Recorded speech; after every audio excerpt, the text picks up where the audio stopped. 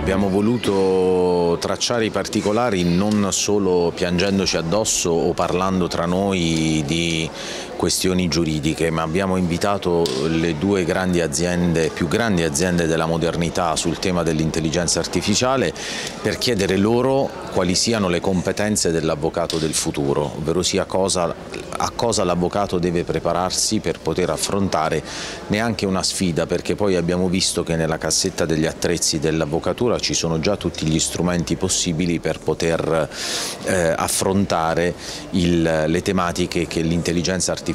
ci, eh, ci, ci, ci richiede. Eh, abbiamo sentito parlare di impresa, abbiamo sentito parlare di concorrenza, di organizzazione eh, in temi ai quali noi semplicemente siamo abituati, magari parlando di semplice predittività. Quella è una delle questioni poste dall'intelligenza artificiale, in realtà dietro c'è tutto quel mondo dell'alternativa o dell'alternanza fra l'avvocato della giurisdizione e l'avvocato della prevenzione, della prevenzione e dell'assistenza. E quindi Oggi diciamo, non abbiamo voluto proiettare un ritorno al futuro nella versione giuridica, abbiamo semplicemente voluto raccontare il presente per tutti insieme andare avanti verso il futuro ed esserne parte consapevole e integrante. Grandi passi ne stiamo facendo, abbiamo iniziato già con eh, la semplice digitalizzazione del processo civile, basta pensare a quanta, eh,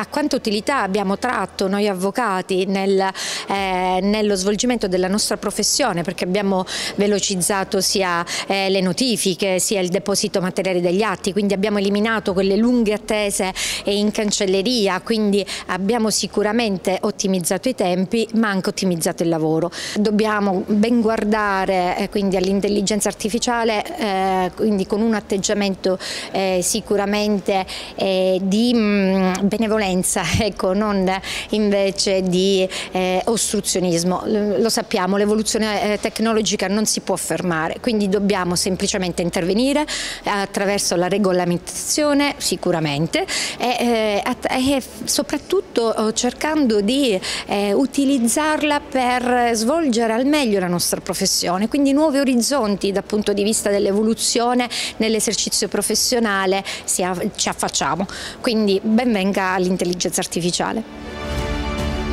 senza paura e valorizzando secondo me gli istituti civilistici che sono contenuti nel nostro codice, diciamo. non sono vecchi, possono essere adeguati, possono essere adattati nella consapevolezza però che non possono essere eh, diciamo, valorizzati con un approccio che deve necessariamente essere innovativo, cioè la, la, la pigrizia del, del, dell'avvocato deve essere superata dall'interesse e dallo studio e dall'approfondimento di questi nuovi temi ai quali adattare adattare gli istituti. Sono gli istituti che si, che si adattano, che si devono adattare ai nuovi temi, non il contrario. E il rischio spesso invece è il rischio inverso, cioè il rischio di voler adattare le novità ai vecchi istituti, alle vecchie regole. Le regole ci sono, le regole possono essere applicate, le, re le regole sono affidabili, le regole sono rassicuranti, ma si devono adattare. Per forza di cose lo scopo e il compito del giurista è quello di adattare le regole alle fattispecie, non il contrario. Sicuramente nuove, nuove opportunità opportunità e nuove possibilità,